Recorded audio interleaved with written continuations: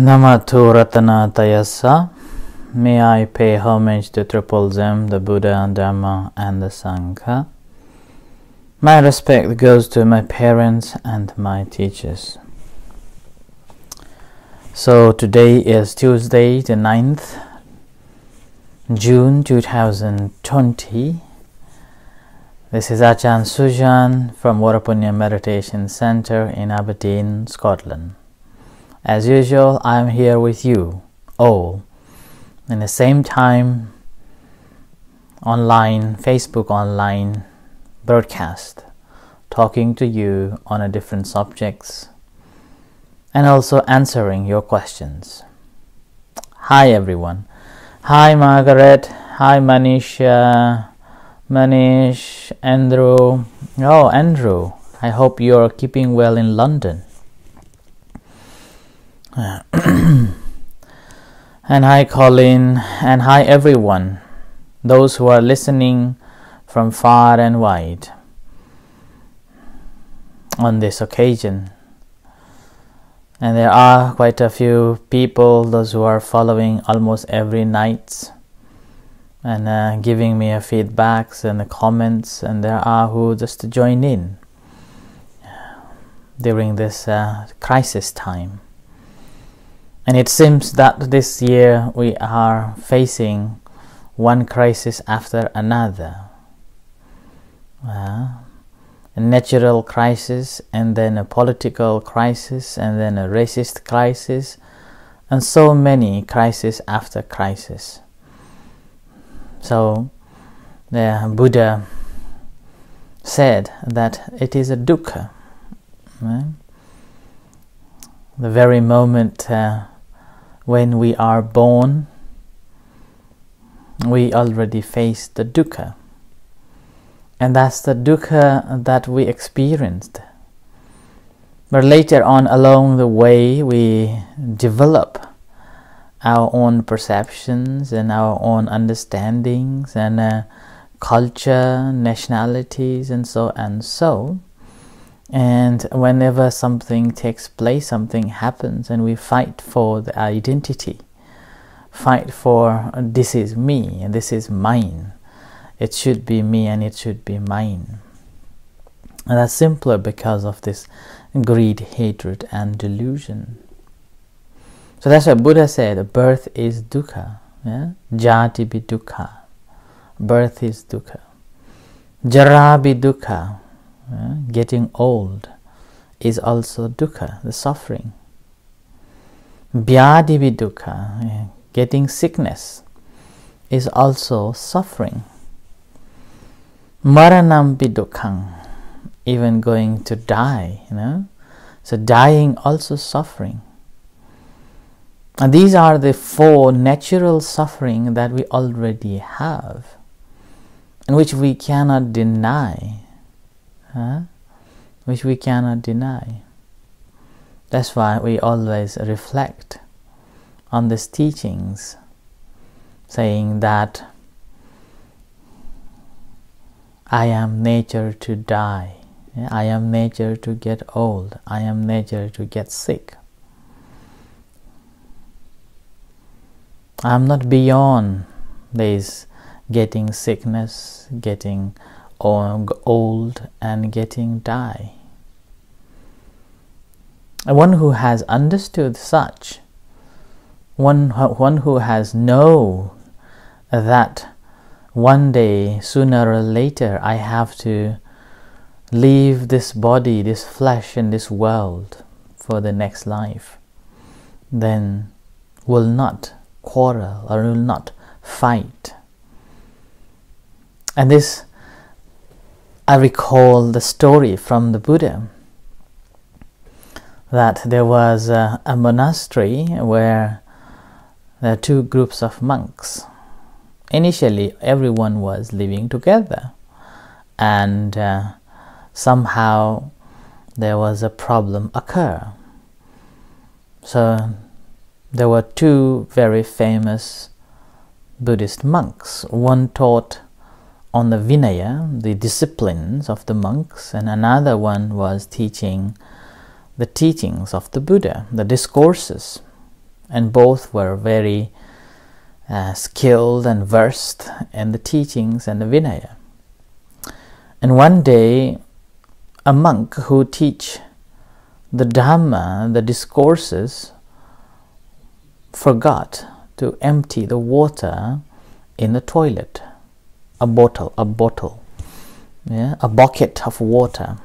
In a um, in, in, in a monastic tradition, uh, in our tradition, whenever a monk visits to the toilet, and those days it was difficult to get the water, so it's called a wachakuting. Yeah?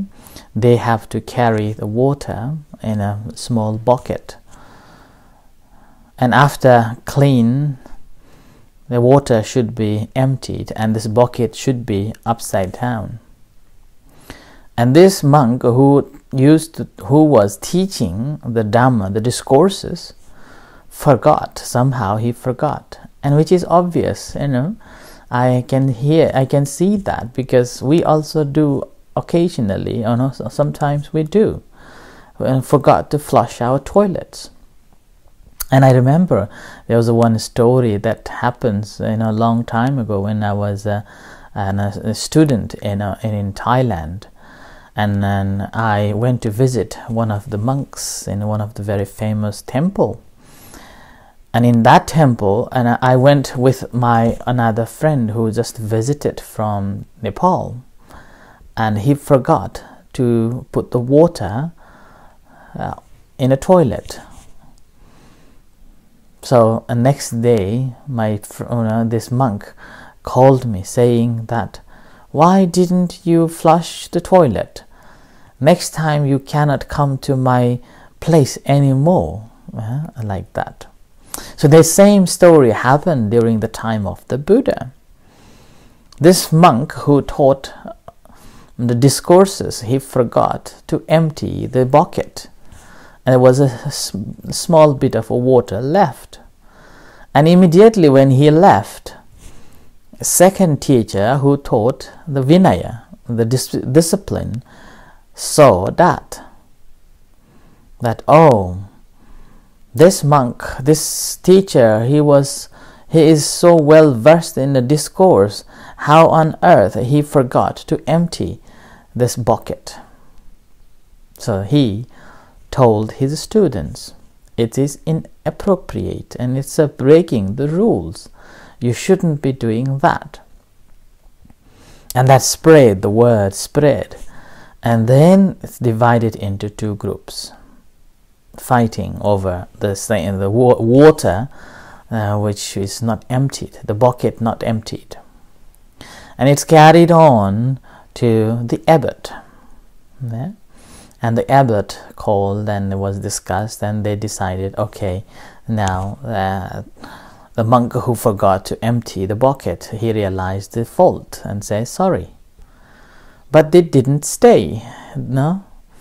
The story went on uh, story went on causing the friction friction and with that friction what happened was that it's become divided into two groups unable to solve the problem and no one knows where and what is the problem and how can one solve it there is no solution for it at all and even the buddha and then later on the scripture, the story goes on saying in the scripture that later Buddha had to intervene in that conflict.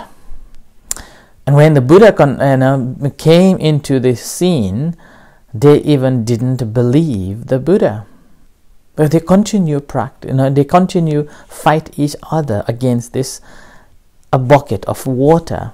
But later on it become politicized and later on it's become a subject of who is the best who is the great teacher and that's so on going on and the buddha even the buddha was unable to bring peace in the monastery and with that buddha was fed up and uh, couldn't solve the problem and the quarrel continued going and buddha simply take a leave he did departed for this forest for three months, just for himself, in the forest for three months. So he went and stayed in the forest. Uh, and the story says that the, uh, the monkey and the elephant looked after him during the time when the Buddha was living in the forest. But when the Buddha left, people began to realize that ah, the reason why Buddha left was simply because of the crisis, because of the fight between two groups of the monks. And no one knows what is the solution.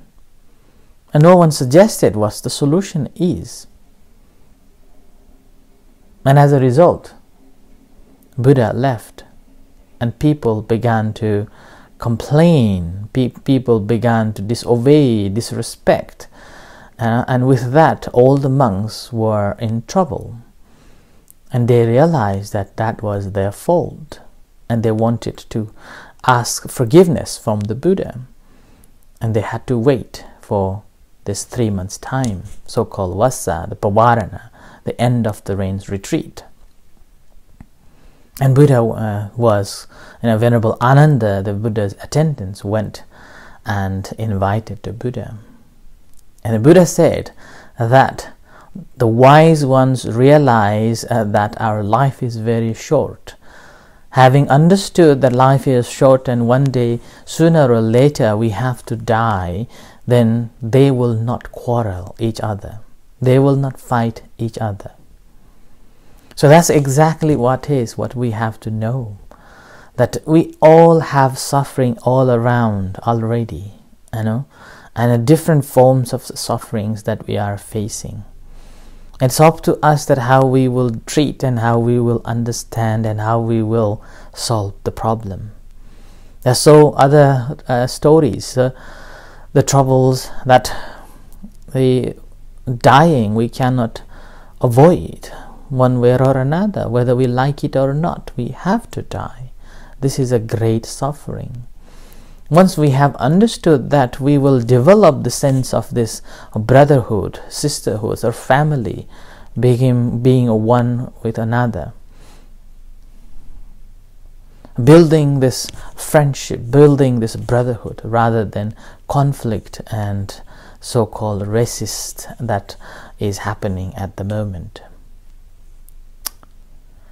If we look back the story of the slavery 400 500 years ago it was so nasty so bad but later on gradually it lifted.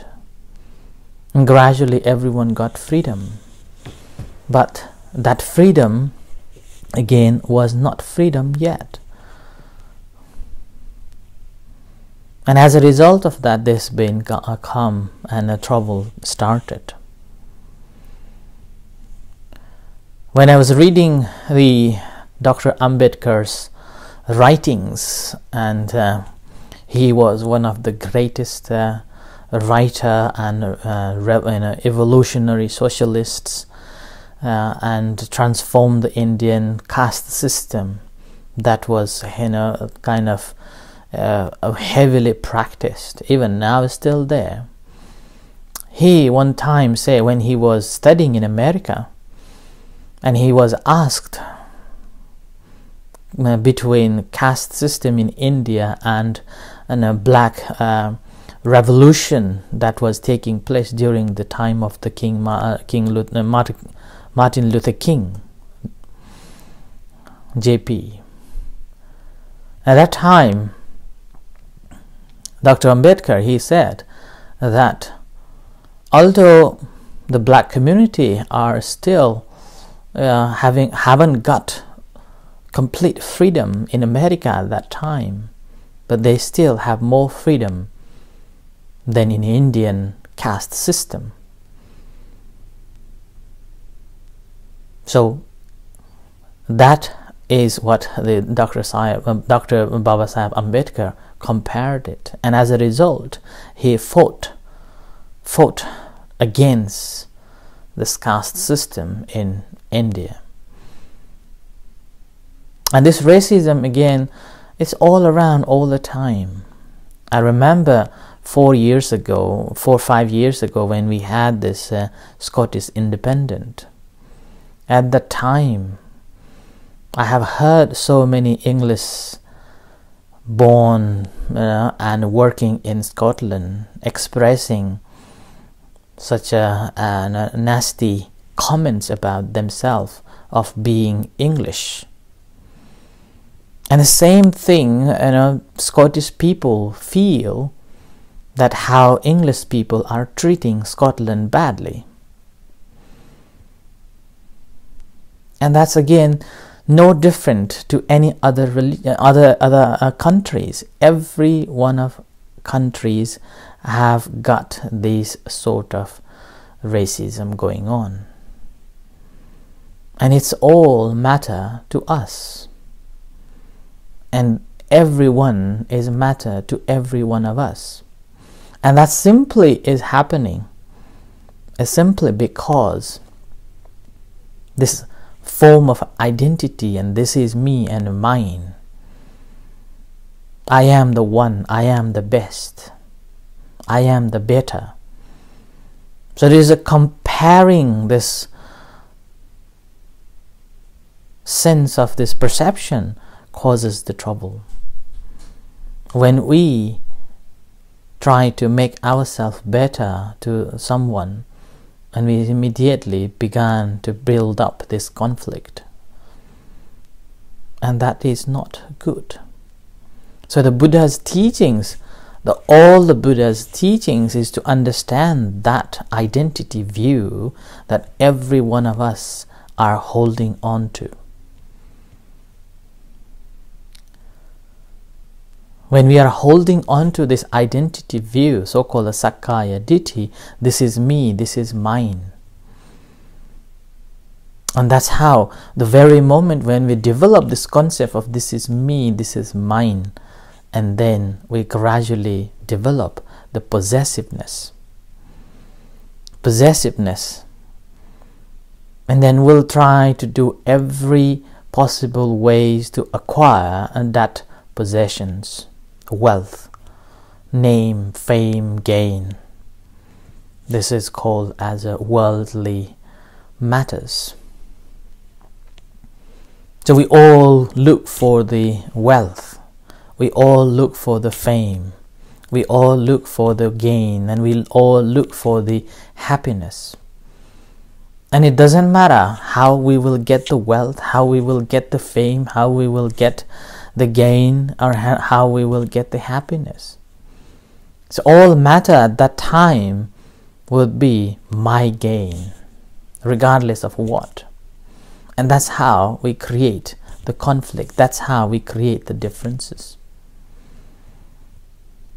The practice of a Buddhism or a Buddha's teachings is so that we have to let go, to begin to let go and that's why practice of a letting go begins from giving small things.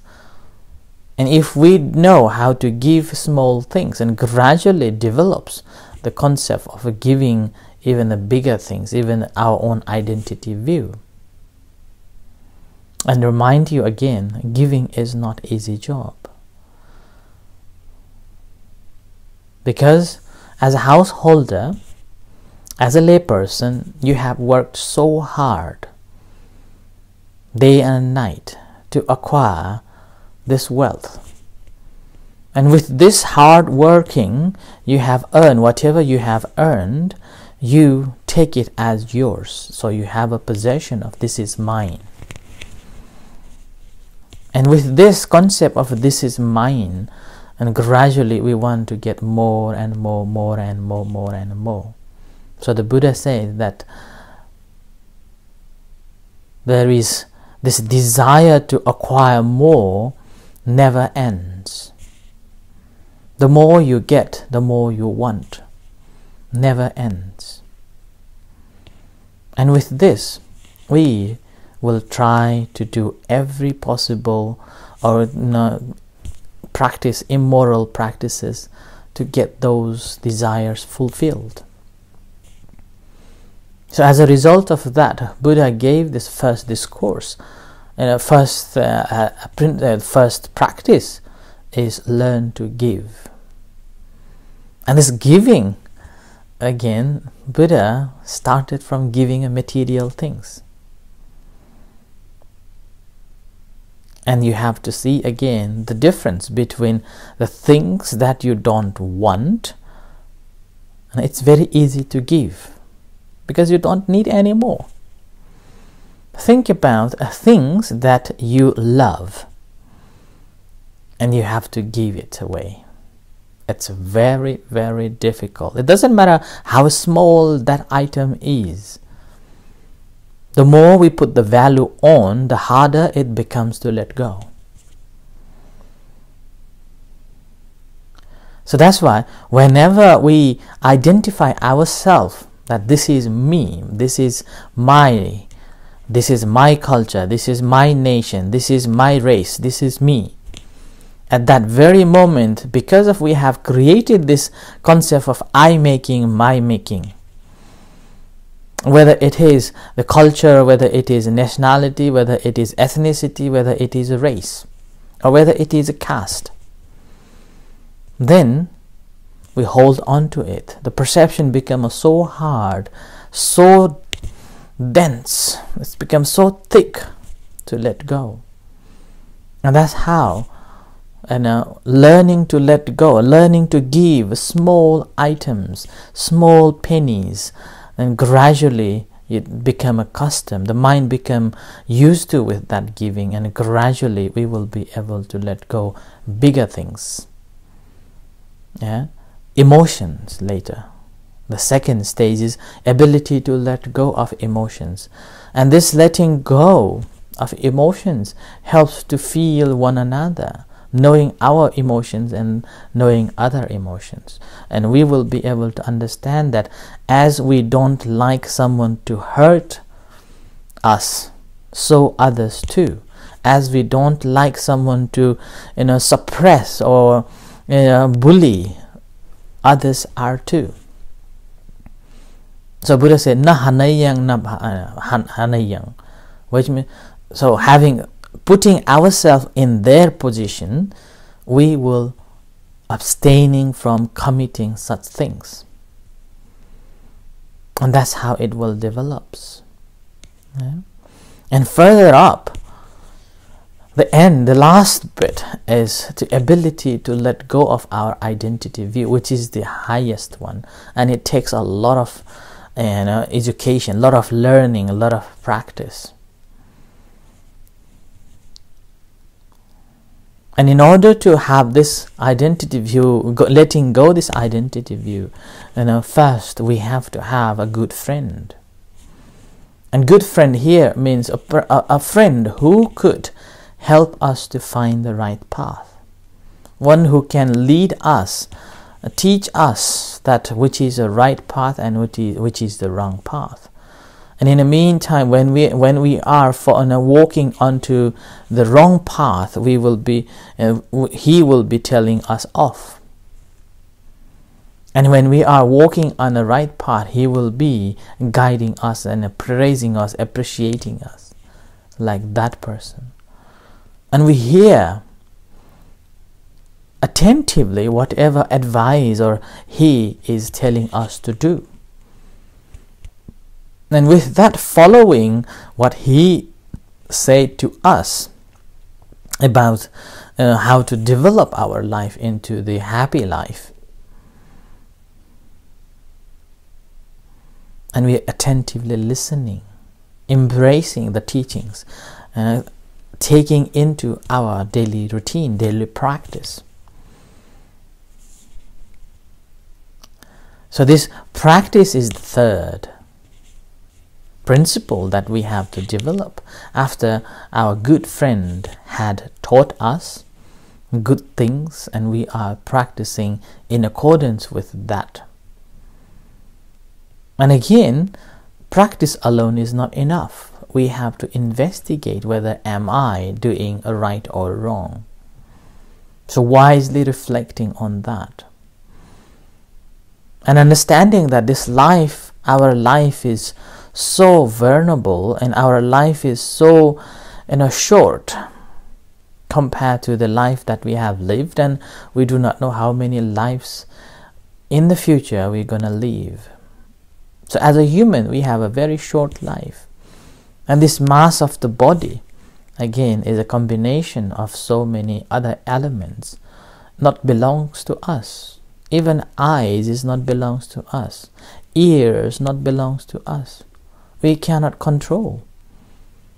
If we can control our eyes we could have said never get uh, a blurred. My eyes like i am wearing my glasses and even wearing the glass and uh, i have to change it soon it's becoming a blur. in my ears. Now I'm, my ears are still okay. But in the future once let's say 50 over my ears will be not working perfectly as it is now. Our digest system our body we cannot control. It's not belongs to us. We simply with this body. So that's why once we have understood in this way we will not be attached to our own body and as well as we will not attach to the customs culture, nationality, race, and ethnicity, but rather we take every one of all beings are the same. All the pranas, also called all the breathing beings, are same, no difference to one another. When we have understood in this way, the sense of this difference between me and them, whether it is because of the caste system, whether it is because of the nationality, or whether it is because of this ethnicity, or whether it is because of the race. So all will just vanish. All will just go away. I am, you know, in my background, born in Nepal, trained in Thailand, living in Scotland. I am living with so many ethnic groups, you know, nationalities, all the backgrounds, but we live together. I don't have any trouble with anyone. Whether they have, I don't know. there are many, maybe they don't like me, but I don't have any problem to them. When they come, I welcome them. When they feel want to drink tea, coffee, I welcome them. Uh, I have no trouble, no problem accepting them at all because I see them as me. When I see them as me, myself, there is no trouble. The only problem is when we differentiate ourselves that I am best than they are. Then that moment all the trouble starts. The dukkha begins. So we already have uh, this natural suffering of getting old, sickness, and death. Why we have to develop another troubles by creating these identities of cultures and this and that and nationalities? Sometimes that I also reflect in the past, uh, we didn't have names so called or name cards or nationalities and so and so. We all were treated well, equally but later, as this standard introduction developed, and these all sort of trouble introduced one after another. But in an ultimate sense, we're all humans are the same. So we, I this I offer this as a reflection for tonight. Uh, I just want to uh, end uh, with the words of the, uh, the Dr. Ambedkar, who says that first we have to educate ourselves and then promote education to all. And that will solve the problems for you all for us all. And that is exactly what the buddha meant. Learn to know what are the things as they truly are. And then we will be free. We will be able to free ourselves and then to all. So this is the uh, reflection for tonight and uh, may you be happy peaceful. Uh, in a few minutes time we will have a chanting. Uh, you are most welcome to join with our chanting and guided meditation. In terms of uh, barn renovation and thank you very much for Karina and Nicholas for the donation gen- generous donations towards it. And whoever would like to donate uh, for this barn renovation you are most welcome to do so so see you shortly and if you are not continuing for the chanting and uh, meditation Good night, and we'll see you tomorrow at half past six. And those who are continuing, see you shortly for chanting and meditation.